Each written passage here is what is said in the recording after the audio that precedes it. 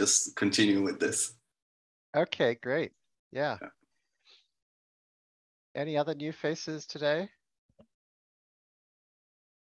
Ali, have you been here before? I don't remember seeing you. Or maybe you've been quiet. Uh, I've been here. I don't think I've had the camera on. Ah, okay, yeah. Nice to meet you. And Nick is back from his tour of uh, tropical islands. Hi, Nick. Yes. Yeah. Not so far away though. Still pretty close Yeah, well, when you're in Queensland, tropical islands are easy. by default. Hi, Marie. Nice to see you. Where are you joining us from?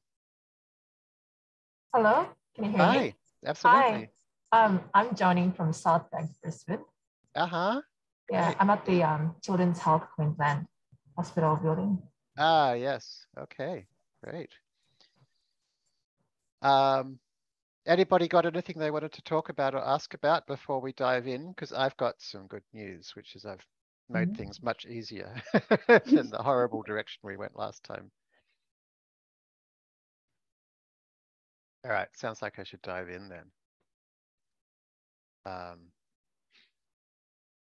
I know there was like, as I rather expected and quite fair enough, some some concern on the forum about how um, complicated and weird this all is, um, which is partly because we're kind of like jumping into stuff we'd normally do in part two, and so we haven't quite got the um, yeah the all the necessary background here. Um, and so yeah, don't worry if you're feeling a little um, at sea. Um, but it's a good way to like, I don't know, start to see like some stuff you could look into after the course is finished.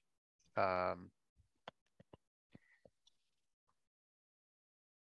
all right, so let me just. Jeremy, Yes. sorry, just on mentioning part two, are you planning a part two this year? Um, planning would be too strong a word, but uh, in as much as I ever plan Think- anything, Thinking about? yes, I would absolutely like to do a part two this year. Awesome. And the fact that you're asking that question means that you are not up to date on our Discord. So you should definitely join our Discord channel because we've actually been talking about doing a um, conference uh, or an unconference to go with Mm. part two at the end of the year in Queensland. Um, and awesome. uh, a lot of folks from places that are not in Australia are saying they would be up for coming coming here for that. Um, you know, partly a kind of a social thing, um, and uh, also trying to do it all in a very COVID safe way of kind of outdoor and masked and people tested ahead of time and stuff. Um, yeah, so that's yeah, so nothing's planned, like we don't have dates or a syllabus or anything like that, but we absolutely hope to have something awesome maybe towards the end of the year um, where we can get to, yeah, get to know each other a bit better and get to know fast AI and deep learning a bit better. Uh, Oh, Jeremy, and, Yes. and can I ask you, um, are you going to continue um, this walkthrough um, next week? Because I know that the class is going to be resume next Tuesday. Yeah, um, I I think so. Okay. Like the fact that I'm doing it this week is interesting because yeah, like I it it it has meant I've got less time to actually work on the course, but I also feel like the stuff we're doing perhaps is stuff I can do use in the next lesson depending on where we get to. So um yeah, so I think we'll do it next week. We'll see how things go. If I get really behind, then maybe not. Um, but then I Mhm. certainly plan to like continue the doing them after the last class. You Okay. know, until I don't know, we all know everything, I guess, and then we'll Mhm. stop. At which point there'll be more things to know. So yeah. Okay. We, we, yeah. we don't have to stop necessarily, you know, there's just so much to learn. I mean, the, the, the only problem is that it's uh, obviously a burden on your time, but it's, you know, I super enjoy it. valuable. No, I I enjoy it. My, my, my issue is what about when we get to the point where there's nothing left to learn, Radek? What do we do then? You know, Well, I- Well, but is there such a point? uh, sure, there must, you know, there's, But then we just start doing it all in a different language, right? We start doing it all in, in R or Julia Yeah. or correct. So, C plus plus, that would keep us busy.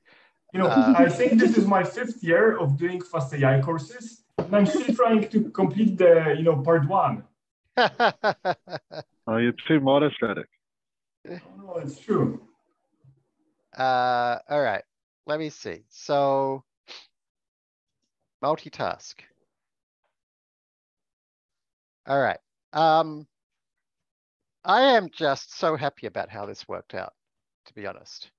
Um, although spoiler alert, it didn't turn out to help our score. Um, the score was about the same. So, but I was so happy at how the whole process turned out. Um, and I kind of want to show you how I got there as well as where we ended up. Um, and yeah, as soon as I kind of like turned off Zoom last time and I went for a walk, and then as soon as I went did that, I was like, oh, now I of course I know how we should do this. And um, really, uh, so there's quite a few that you know we can make this much much simpler. So let me explain what we're going to try to do. Um, we are going to try to um,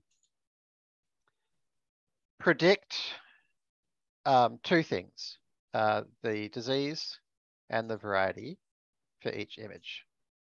And the first thing will be to create a pair of data loaders that look like this. For each image, they will have connected two Mm. things to them, the disease and the type of rice.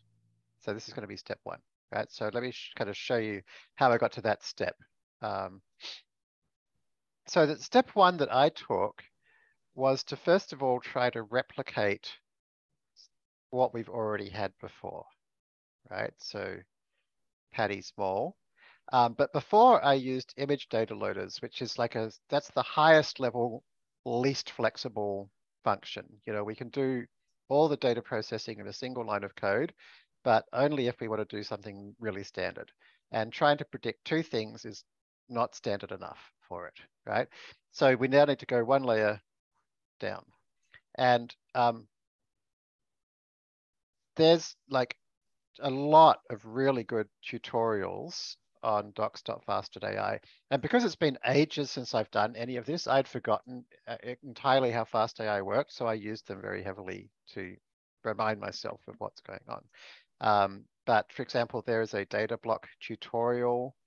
This pets tutorial is is great. It like it goes through all the layers of like different ways of doing things with fast AI pre-processing. Um, this Siamese tutorial is another really good one. Uh, so these are some of the things I looked at. And the other thing I looked at was the actual API docs. So if I click here on data block, um, this is actually probably what I found the most useful in the end. Um, there's lots of great examples in the documentation. So yeah, I, you know, as a kind of like, you know how it is, you come back to something a couple of years after you built it and you're now kind of the customer of your documentation. And so my experience as a customer of my documentation was I was really delighted by it. So I can definitely suggest checking all that out. Um, so you know, what you can do is before we were using image data loaders from folder. So if we just do the double question mark trick, we can see the source code for it, you know, and it's the normal size of FastAI things. It's very small. And you can see that actually all the work's being done by Datablock. So um, Datablock is the like, you know, still high level API, but not, not as high level. It's actually very flexible. And so we're going to, um, step step one that I did was to replicate exactly what we had before, but using um, data blocks. And for this, there's actually, you know, so many good examples in the tutorials and in the book. You've seen them all before. We don't need to talk about it um, too much. You know, we can basically say, okay, for the data block, the input will be an image, the output will be a category. Uh, this is just to do um, disease prediction. Um, um, the labeling function uh, will be the um, parent folder, parent label, uh, do a random split. the item and batch transforms we can copy and paste from what we had before. Um, and that creates a data block. So data loaders is then a data block dot data loaders, and you then have to pass in a source. So the source is um, basically any, uh, uh, anything that you can um, uh, iterate through or index into to grab the things that will be passed to these to these blocks and to this function. Um, so for this, it's going to be a path. Um, and then we also need to get items. And so the when we get a path, we're going to pass that path into the get image files function because that's the thing that returns a list of all of the images in a path. Um, and let's see if that works. How do you know that um, in the, okay, so the block, you have an image block, category block. How do you know that, like, how do you, how do you know that the get image files is going to be able to feed both those blocks? Um, so, um, I guess the short answer would be, you know, to read the documentation about those blocks to see what they take and what they do. Or any of the tutorials that use them. As you can see, they're used all over the place, right? So you can Mhm. start with this tutorial or this tutorial or this tutorial. Um, so any of those would show you what it does. Um, or yeah, the actual, let's say this, this is not good documentation. I don't really never bothered to look at this because it's um, basically all of That's not good. No, this, we should fix that. Um, I guess because there's so many tutorials.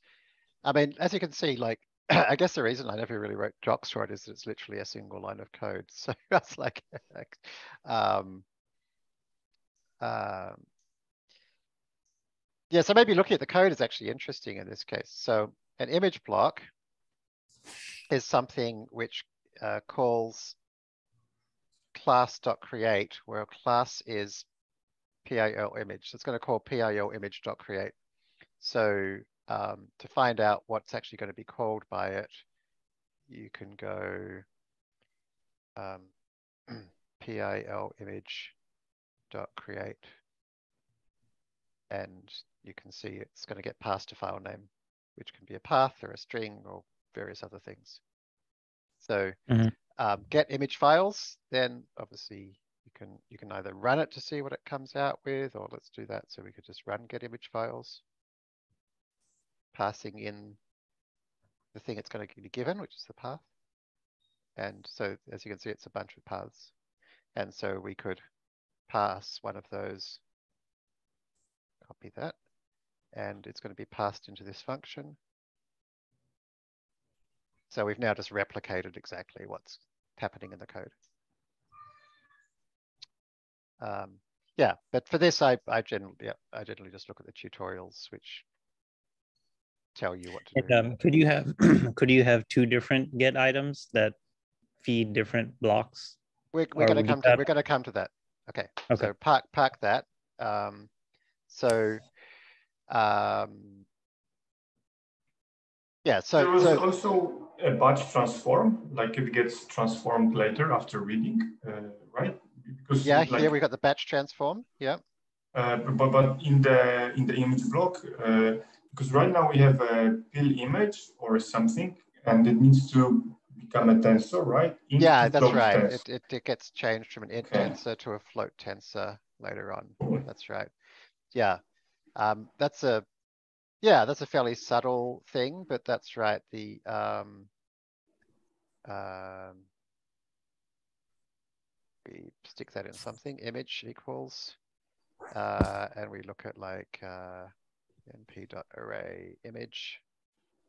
It's actually stored as bytes or uint8 as they call it in PyTorch. Um, So yes, the um, this is going to add a batch transform that's going to turn that into a float tensor, which we can see what that's going to look like. We could run it here, I expect. To float tensor. The- The transformation that we're applying is two twenty-four, which is, is like a square image, correct? A two twenty-four by two twenty-four? This one here, Mhm. Yes, yeah, so this is doing data augmentation of Uh-huh. lots of different kinds, so. Um. Let's. Copy. Doc. Paste. Um, and if we show, for data augmentation, looking at the docs is particularly important because you can see examples of the augmentations it does. So it tells you a list of all the augmentations and how you can change them. And here's some examples of what they look like. And These augmentations would happen after the int to float tensor, right? uh, yes, that's correct. And some data augmentations, they operate on the entire batch and some operate on a single example. Yeah, That's right. So the ones in batch transforms operate on a whole batch and the ones in item transforms operate on a single item. And so batch transforms um, operate, because they operate on a batch, before you get there, everything has to be the same shape. So it can be turned into a batch. So this resize resizes everything to the same shape. And then this does uh, these various different types of data augmentation. Um, and one of the key pieces of data augmentation it does is to um, randomly zoom into a subset of the image, as you can see in these various examples here. Um, And uh, this data block API, can you also use it with data frames where you would be reading your images from a data frame? we are frame? going to do that. We're going to do that in a moment. Yes, Okay, cool. absolutely. Um, so yeah, I'm I'm kind of like skipping over quite a bit of this because um, it's super well covered in the tutorials. So I don't want to like say stuff that you can very easily read, whereas the stuff I'm about to show you isn't as well covered in the tutorials and it's kind of new. Um, um, but yeah, feel free to keep asking questions about anything you see. Um, so basically, um, yeah, so all, all we've done is we've just, this is just the same thing that we have in lesson one. Um, Mhm. uh, I just, and, and it's doing exactly the same thing as my image data loaders.from folder, but just turn into a data block.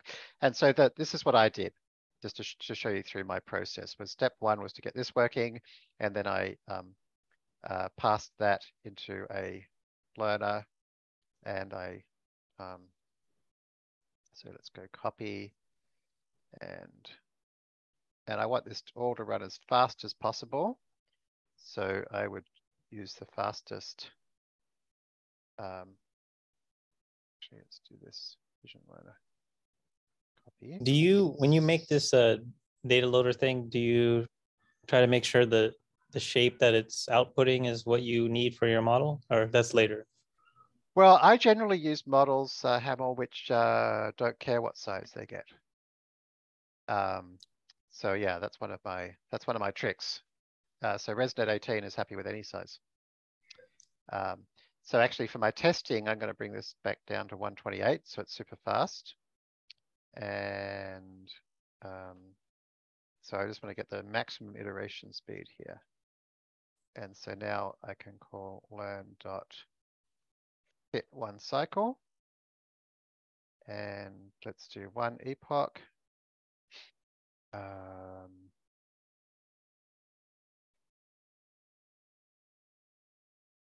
okay, so this is going to run in under 20 seconds, which is kind of what you want, right? You want something that you can test in under about 20 seconds. So that way you can just quickly try things and make sure that end to end it's working. Yep, the error rate is down to 30%. So that's that's a good sign. Um, I guess uh, one correlated question is, Mhm. okay, I understand the input size, Mhm. but what about the output size of your data block? Like, you know that this is what you need for that model. You know, that's like, what I'm saying. The model doesn't care. The model's happy with any size. I mean, the targets the or whatever. You heard about the labels? Yeah, the labels. I mean, labels don't have sizes. The labels are strings. Or just the this the shape of that. Like, hey, like is it you know, because maybe different models are kind of trying to predict different types of stuff, potentially. I don't know. Um, You know, Like I some mean, might so- have shape of if the a vision target. learner is, um. um, I, I suspect the thing you're kind of asking is the thing that we're gonna be covering in a moment, so maybe put that on hold and then tell me if Okay, it still doesn't make sense, okay? Okay. Um, Before yeah. we- we move, I have a question. Hmm. Uh, on the data block, um, you randomly select uh, uh, the amount of records or the amount of uh, entry, uh, the batch size that you're gonna process. I don't randomly pick the batch size, no, the batch size is actually selected in the dot data loaders call. And it defaults to sixty-four. 64. So what is the guarantee that that every single one of the images in this particular case will be selected or there's no way to know? Is there any way to know that every single one will be? Uh, I- Yes. I'm wor- Th- I mean, well, I mean, there, yes, except that we're randomly selecting twenty percent to be our validation set. Um, but every then- single every single one will go through the through the learner. of the, uh, of the eighty percent that aren't in there, everyone will go through our learner because we randomly shuffle them. And then we iterate through the whole lot. So in, in a single epoch, in a single epoch, the model is guaranteed to see every example that is in train just once.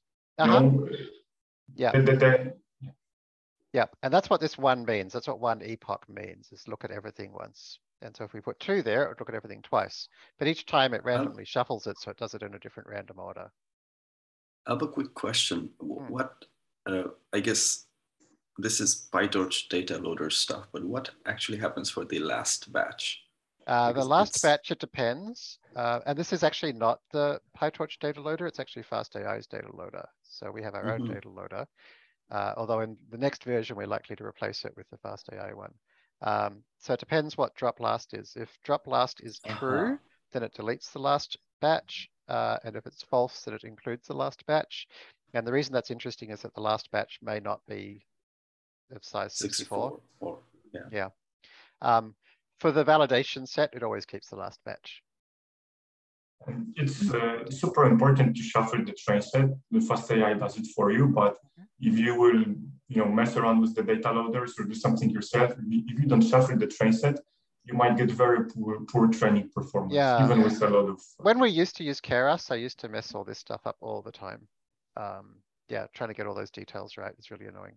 Just to make sure on something you said, you said in next iteration you're gonna replace it with the PyTorch data loaders. Yeah, probably. Yeah. Okay. You Yeah. said fast AI, so I got confused. Oh, did I? Yeah, that is confusing. Thanks. Um, okay, so that was my step one is to just get it working uh, exactly like before. And then I ran, uh, then I ran it with um, in the background on the same architecture for the same epochs to make sure I got about the same error rate, and I did. So then I was happy that, okay, I'm, I'm matching what we had before. Um, so then uh, step two was to try to make it so that the data block spits out uh, three things, which would be one image and two categories, um, the category of disease and the category of, of rice type. Um, so to get it to spit out uh, an image and two categories, hopefully you wouldn't be surprised to hear that we just um, do that. We say we want three blocks, an image and two categories. Now, um, this variety, we need some way of, of, of getting that given an image ID. Um, and actually the way I did it was a bit ugly. And since then I've thought of a better way of doing it, which is what I think we should do is we should create a dict that maps from image ID to variety. And then our function will just be to, to look that up, right? So let's call this um, image to variety equals, okay, and it's going to be a, a dict com a dict comprehension. So we're going to loop through um, um, the rows in uh, df dot uh, iter items. Now I always forget what these differences are. Column name, comma series pair, returning a tuple with the column name. Okay, that's not what I want. Yeah, like iter rows, yeah. Seems... Yeah, iter rows. Index, comma series. Okay, cool. I think like this uh, iter tuples is the fastest one. Um, but you know, this is not very big, so I don't, so let's keep it simple. Okay, so this is going to iterate over rows and return uh, index of series. Okay, so we don't really care about the index. Um, uh, another thing we could do is make the image ID the index, and then you could actually jump straight into it.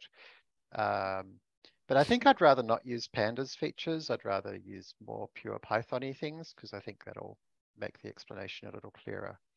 Um, so we're going to look through, it's going to give us the index and the row. Um, and so what we want is the uh, key will be the row's image ID and the value will be the row's variety. Variety.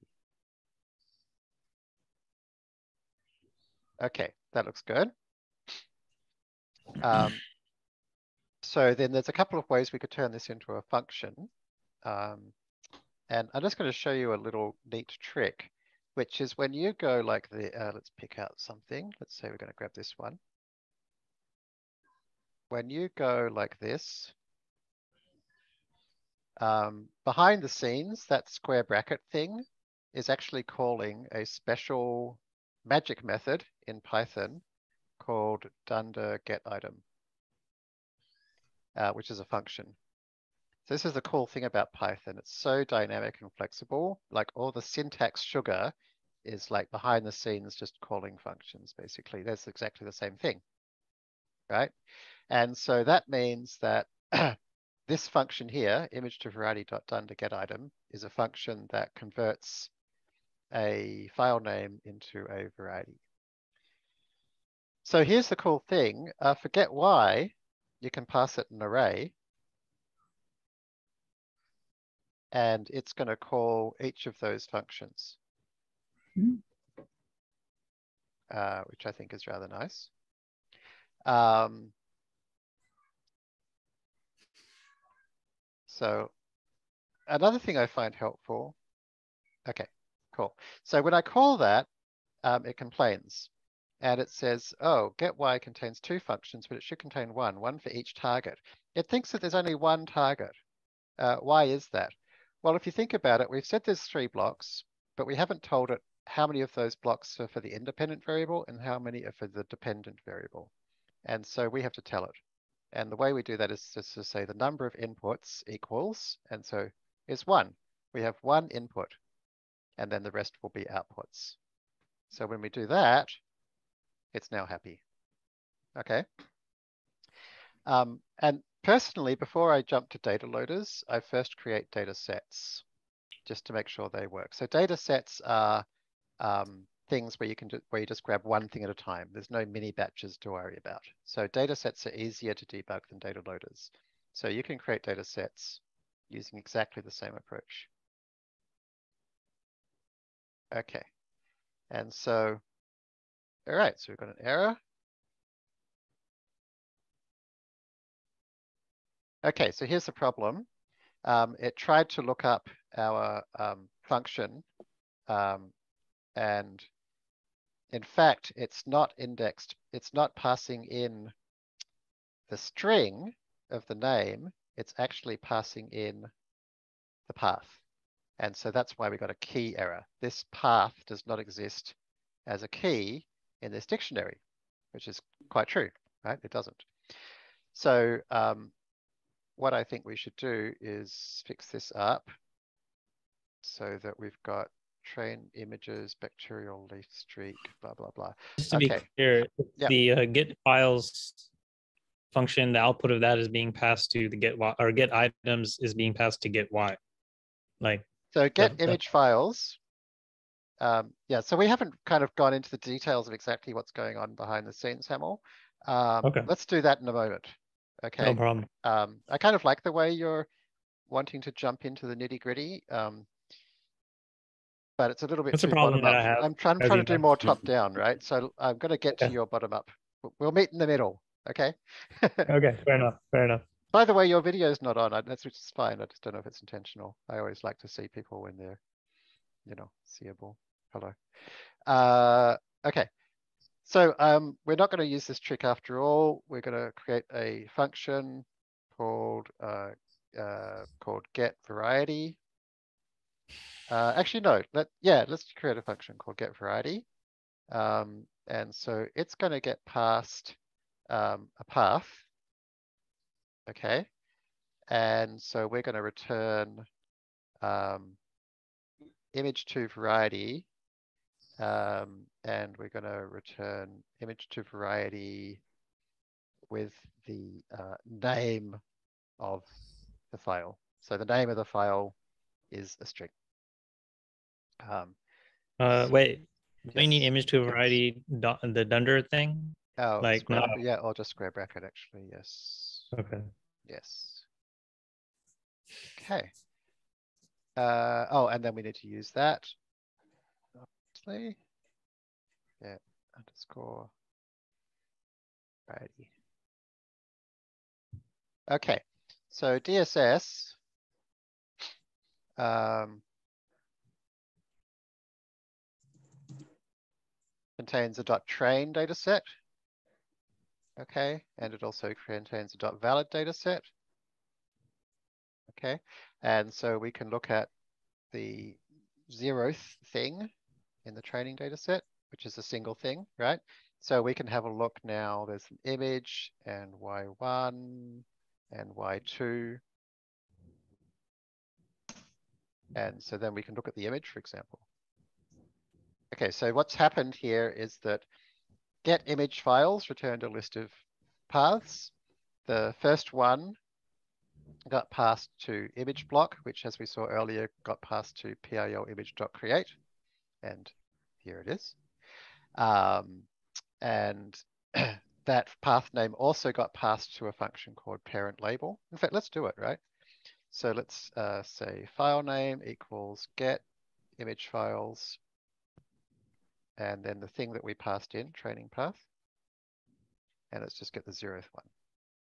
Okay, and so there it is, right? So um, it ended up calling PIL image.create with that file name. Okay, it also called parent label with that file name. Parent label. Okay. Um, and it also called get variety with that file name. Jeremy, can we look at get variety one more time? I was just curious how you build the path. I didn't. I removed the path. I called dot name. Oh, okay. to just okay. name. Yeah. Mhm, Uh-huh, uh-huh. I see. Uh, yeah, in my original version of this, I did it the other way around of like building back up the path and then realized that that was Mm. kind of stupid. So, um, Yeah, it's unique, so that works. uh, Okay, um, one how question. I- we- Oh, Go ahead, go ahead. okay, this could be too, you know, low level, but just let me know. Uh, can you have multiple get items? Is this the right place to ask that, or that's yeah, that, so it wouldn't make sense to have multiple get items, right? Like Ever? get item Like- returns a single thing, but it could be Yeah. anything you like, right? It could be, it could return a tuple or a list or an object or whatever, right? And so, or a dict, and then get Y and get X are then the things responsible for pulling out the bit that you need to pass to your blocks. Now, Okay, we don't, we don't need to get X because image blocks just take paths directly.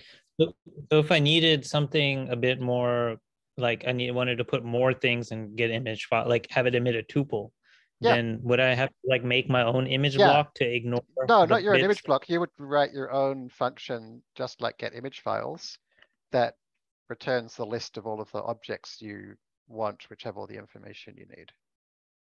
Okay, and then But like, like, it if- almost never happens. I don't think that's ever happened to me because like nearly, like nearly always there's like a row of a database table or a path or, or something has all the information you need to like go out and get the stuff with your get X's and get Y's.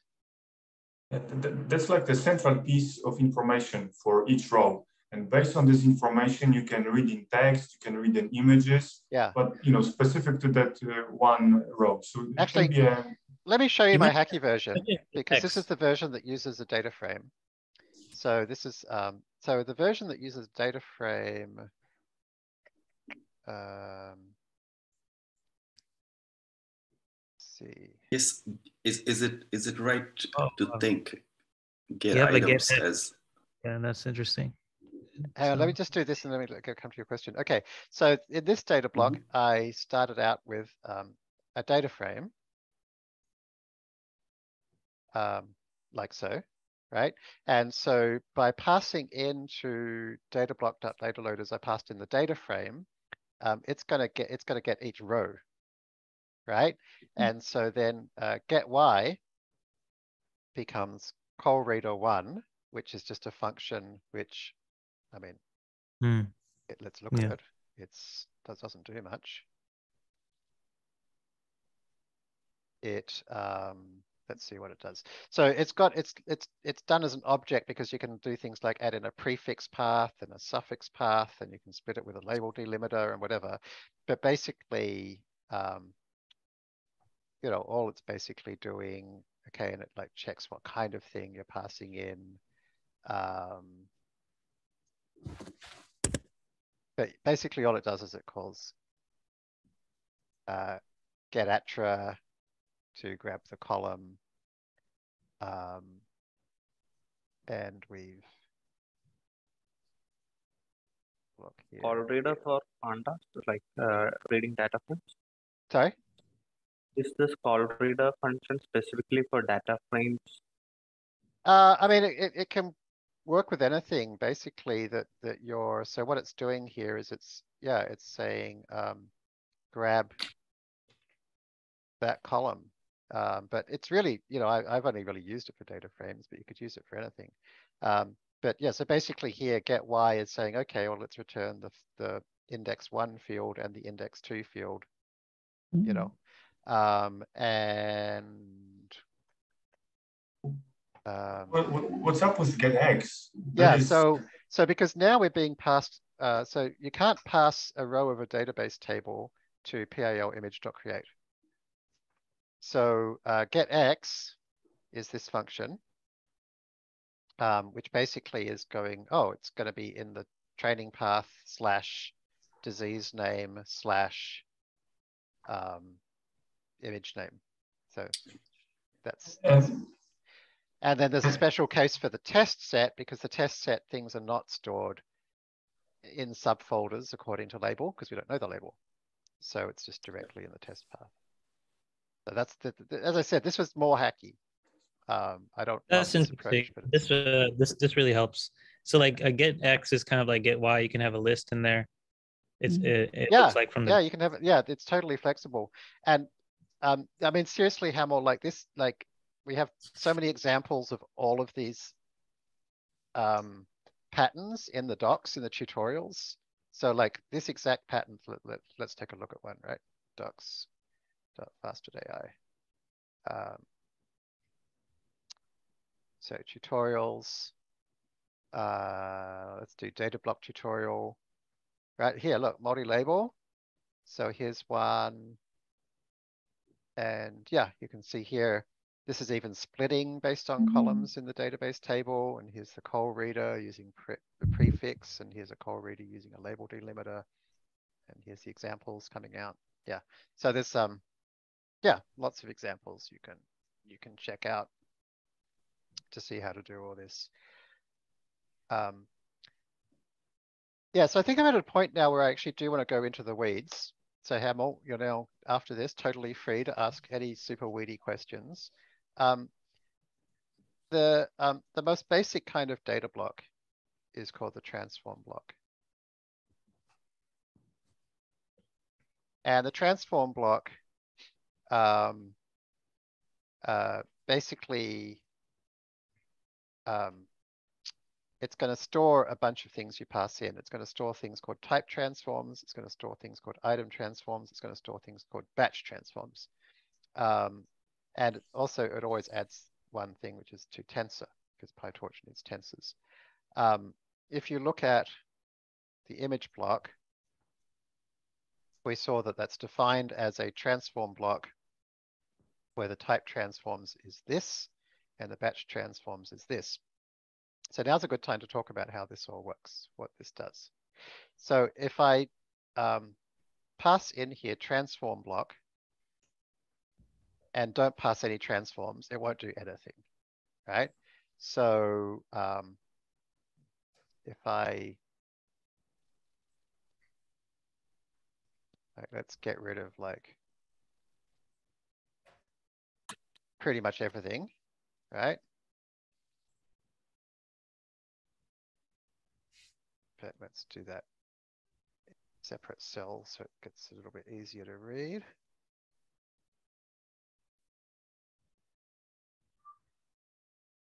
Okay, here is the world's simplest data block.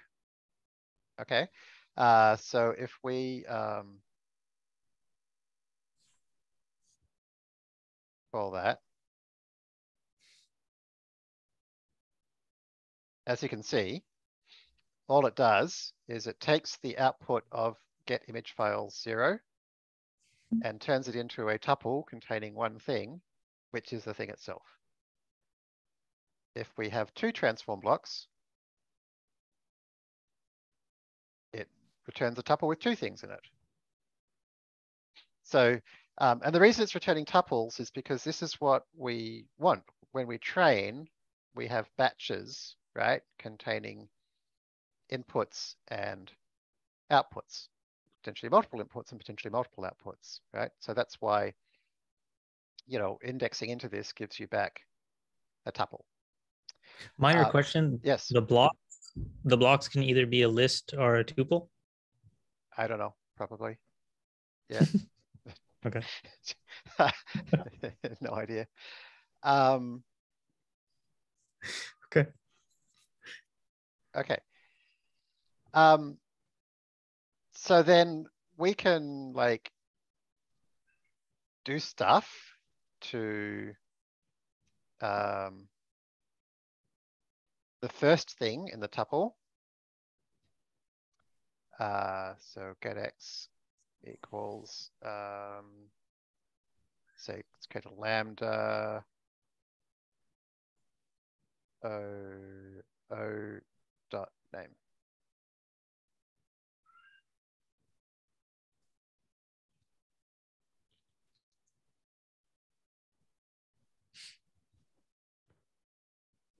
Taking Hey, what are you doing? Oh.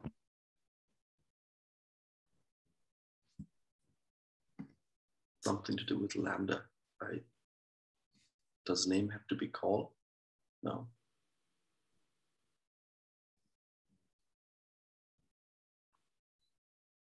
Hmm. Maybe it's notebook restart time. It's might well be notebook restart time. Oh, that's. Oh, uh, I wonder if something happened to my GPU server. I mean, something has happened to my GPU server, clearly. Never happened before.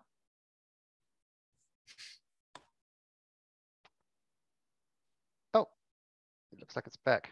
Oh, okay, it just recognized that it disappeared.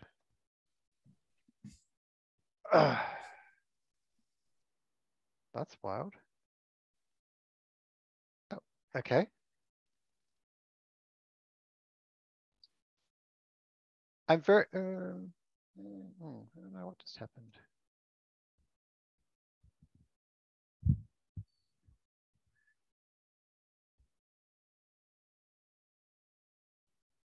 Guess it doesn't really matter. What are you What are you doing right now? I'm just looking at the log, see if anything just happened.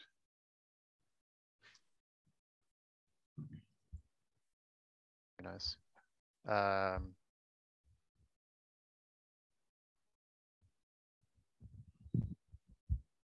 okay. All right.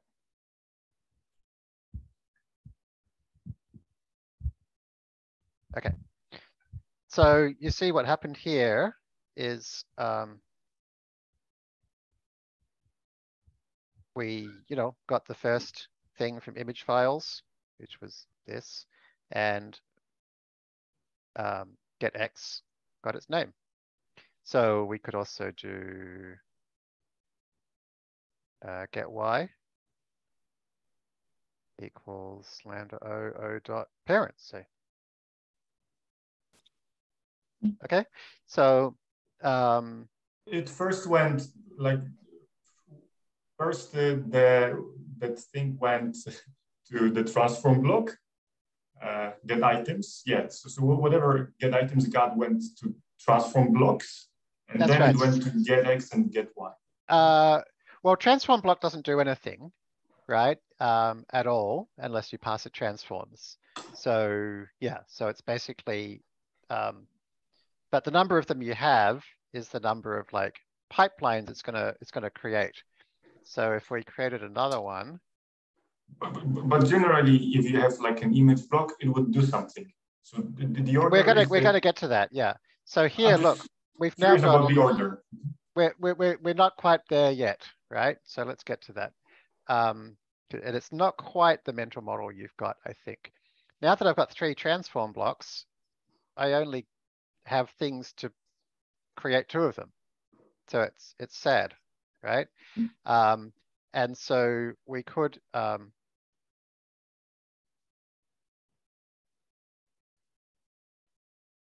put them here. For instance, um, and that be the last one is the Y and the first two are the X. basically. correct, unless we say number of inputs equals one. Right, in which case now get X is just gonna have to return one thing, it's gonna be one function. And get Y will be two things. Okay. Um. So, um.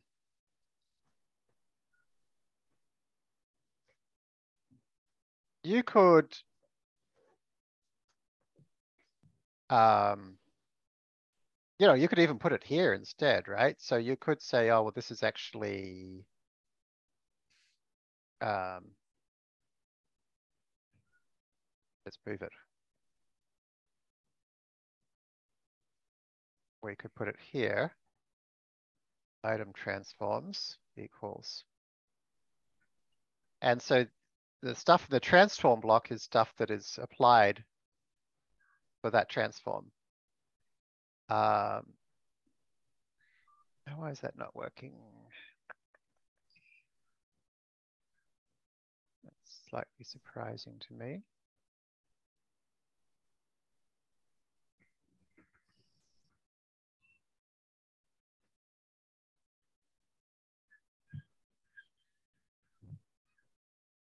Ah, okay, needs to be a type transform. Okay, type transform, so it's now converted to the type it's meant to be. So, uh, how, uh, Radek, you were asking about image block. I, I'm just uh, you know Nope.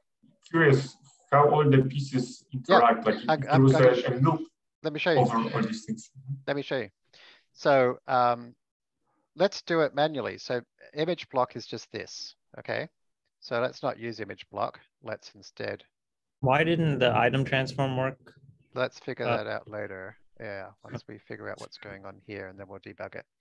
Okay, so now we've got three transform blocks, two of them which do nothing, and the first one of which is gonna call something dot create. That was PIL image dot create. Um, so transform blocks don't, if you look at the code of them, transform blocks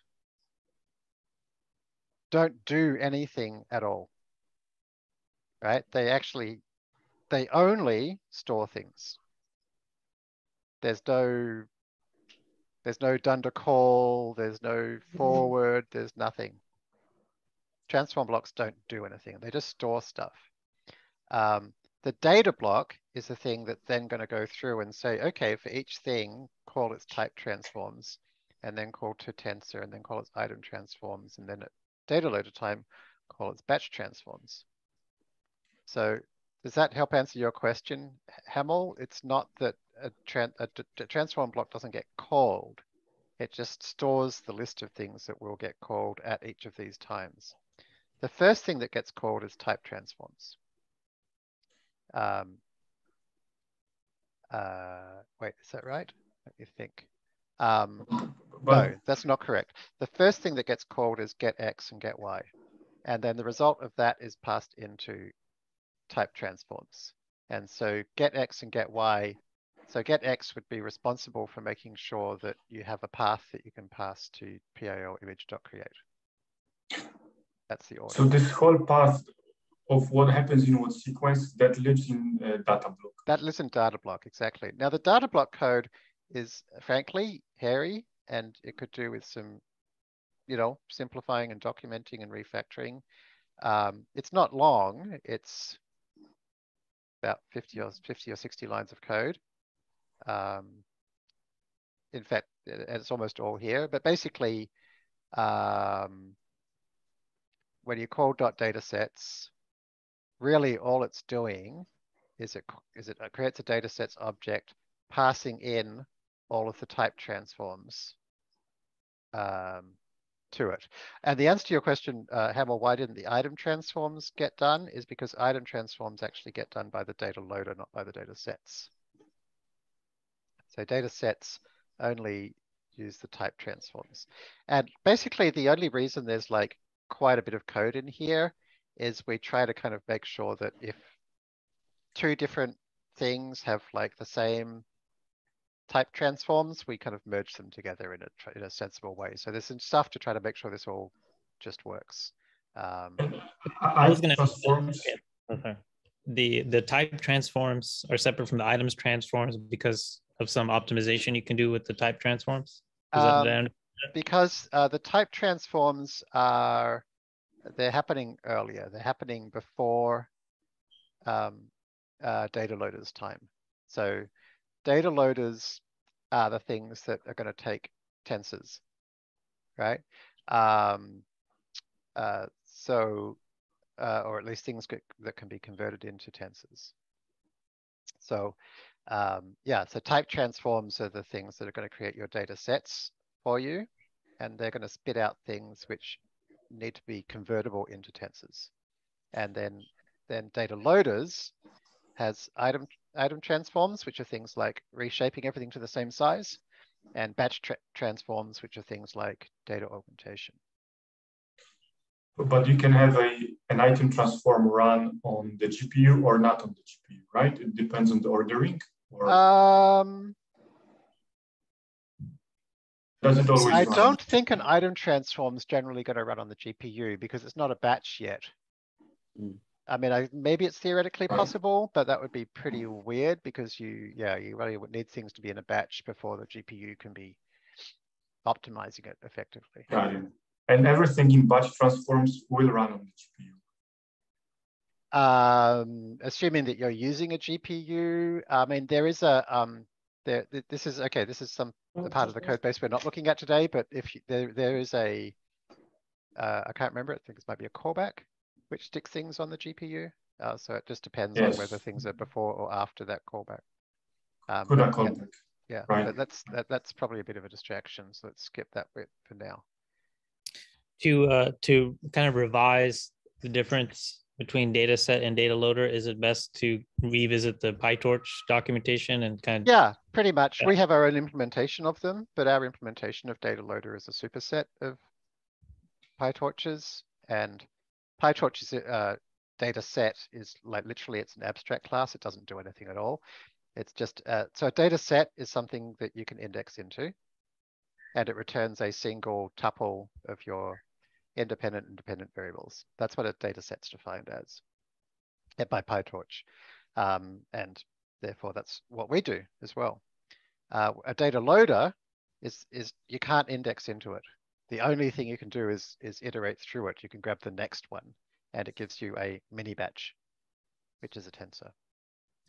So that's the Okay. difference. But yeah, this is a that's a PyTorch concept. Um, um, I guess I'm trying to understand the type transform thing, why it has to be done in the data set before the data loader. Well, it doesn't have to be, but it's it's like we want data sets. Like data sets are a very convenient thing to have, to have something you can like go into and grab items, you know, numbered X, Y, or Z. That's that's the basic foundation of the PyTorch data model, you know, is that there's things you can No, I'm, asking about the, the type transform aspect of it. Like Yeah, so you need you need something that converts uh, the output of get image files into what you want in your data set. And that thing needs a name. And the name we gave it was type transforms. Okay. think I think I understand. Okay. Like you, this is not the only way you could do this, right? But it's it's it's our way that's really nice because we now have this thing that you can say like, oh, Hamel, can you show me the 14th image and its label? And you can say, yes, no problem, Jeremy. You type dss.train bracket 13 and and they, there it is, right? So um, yeah, so that's just a convenient thing, basically. Um, So I, I, I guess a question around that is that if we did not have type transforms, then it would just be one more step in the item transforms, right? Yeah, I- I think so. So Your, just your, your data sets, your, yeah, your data sets would always just return a single thing, or maybe the, no, Mhm. probably two things, the get X and get Y results. And then your data loader would have to do more work, basically. Exactly. Yeah, yeah, which it would be as perfectly okay way to do things as far as I can tell, but I think would be a little harder to debug and work with and keep things decoupled. Um, yeah, I think it's a reasonable comment. So is it Um, like anything you want to do up front that is like kind of uniform across your whole data set? Maybe put it in the type transform that you don't need to change at training time? Um, basically like anything that you want to be able to like index into it and look at that thing, really, you know? Um, if you're not sure Okay. where to put it, I'd say just chuck it somewhere and don't worry about it. You know, um, like, like, t- you know, we kind of put the, the rule is that, you know, you need something that um, can be turned into a tensor. Like that's, that's the way fast AI does it. So you need to make sure that your type transform, when you're working with fast AI, returns something that is a tensor or going to be turned into a tensor. Which a PIL image can be, for example. Okay. I think I understand. It's kind of like a you want just you want to make sure it's like a convenient thing that you understand to look at. Yeah. Okay. Yeah. Um, okay, so then like, um, okay, so I can remove all that. Because that is, that, this is the definition of image block. So let's replace it with the word image block. Okay. Um, and then, um, let's change. Um,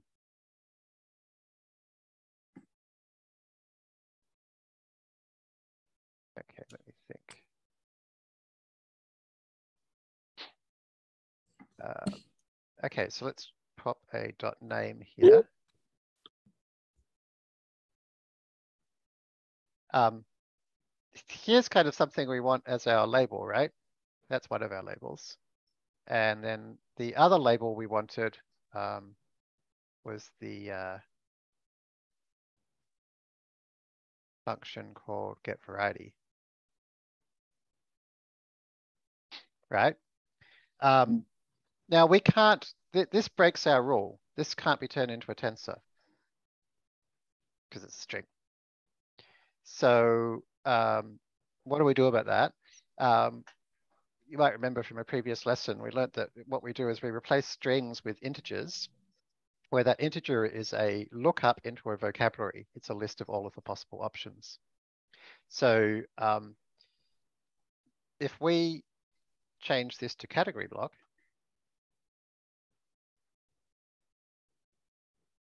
that is exactly what category block will do. Right? Um, and so category block.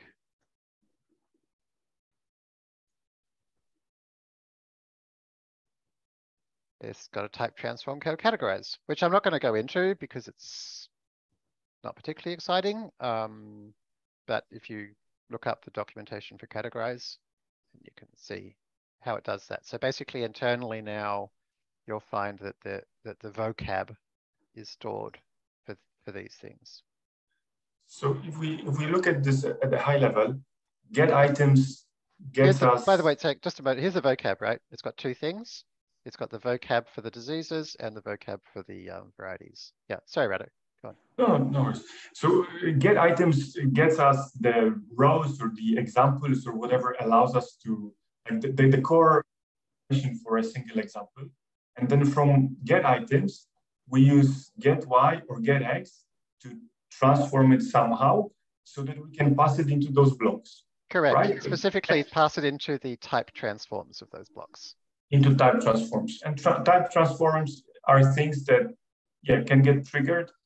Um, right, so they're doing a little bit something similar to get y, but like are building on what get y does. Correct, right, right. exactly. Because because these are like very general things, right? And so I didn't want you guys to have to write your own every time. So mm. these these these basically say I this says I will work if you can pass me a path to an image. And this says, I will work if you pass me a string. And so get X and get Y then are responsible for ensuring that you pass them a path and pass this one a string. And get image files is already returning paths, so we don't need a get X for this guy. Um, but it's not returning strings, so we do need to get Y for these guys. Um, Okay, so I'm going to finish. I'm, I'm going to run it slightly over time. Um, but let's have a look at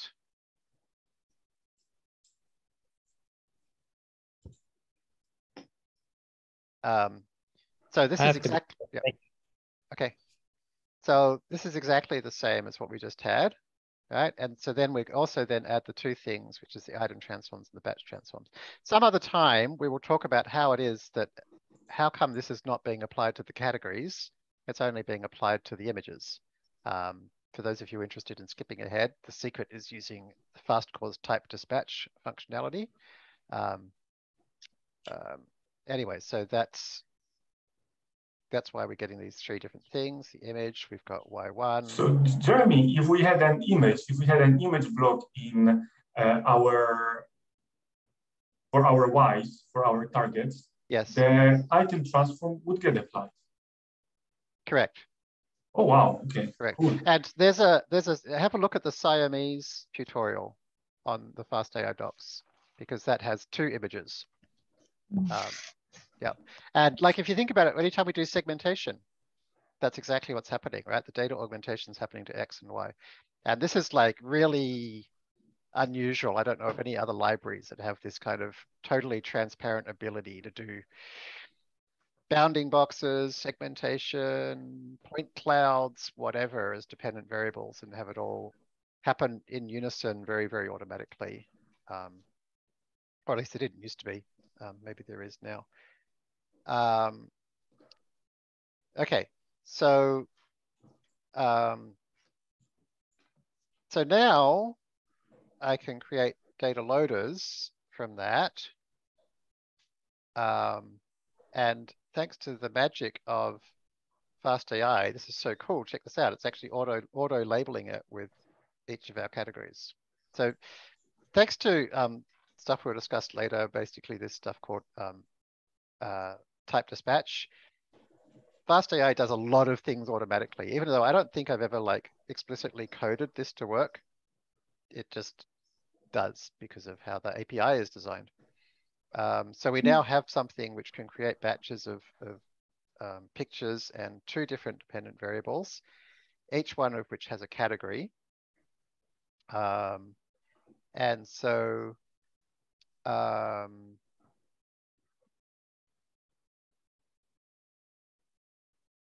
what we will get to next time is it actually turns out, well, I briefly mentioned it now, actually.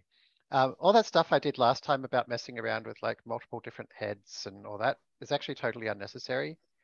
All we need to do when we create our vision learner is tell it we don't have, we don't want 10 outputs, but we don't want 20 outputs. So normally it automatically figures out how many outputs you want by how many levels are in your categorical dependent variable. But in this case, we've got something custom, right? Which is we've got a, a, a tuple of outputs. So we have to tell it we want 20 outputs. That's going to make the final matrix that it multiplies by have 20 outputs. Now, then you basically need to tell it what loss function to use. Um, and so if you look it up, it turns out we used to use a loss function for this called cross entropy loss flat. So we're going to call that exact loss function on the first 10 items, and we're going to compare that to the disease probabilities. And then the second 10, we're going to compare to the variety probabilities. And we'll do the same thing for having an error rate, which just looks at the first 10, get the error rate for disease. And the same thing for variety, look at the second 10, the variety. And so basically then if you train that, it's going to print out the disease and the variety error, and the loss function will be the loss function on both um, both the two halves. And um, interestingly, for this single model, this 2.3% disease error is the best I'd ever got for this architecture. So at least for, you know, for this single model case, this was better than um, uh, training something that only predicts disease. Anyway, we can talk about that more later because um, yeah, we kind of spent more time. I have a quick question. Yeah the last layer, it's it's it's a flat 20, uh, 20 output layer. Does this mean at inference time that uh, we would have to do the softmax plus, uh, what would it be? I can't remember. No, fast AI handles all that for you automatically. All right. Yeah. Okay. Yeah. Great. All right. And and by the way, in the inference uh, functions, you'll see there's like always a Boolean options as to like whether to decode it and whether to put the final activation function on it mm. and stuff like that. So um, actually now I think about it, in this case, because we used a custom loss function, I think right. that's would have broken its ability to do it automatically. So yeah, okay, I'm going to say actually you would need to add a softmax if you wanted to. Although um, you actually don't need to because like at, at least for the Kaggle competition, I just needed the um, which disease had the highest prediction and whether it's softmax or not, it's going to be the same because that's a um, monotonic function. So depends whether you actually need probabilities or not.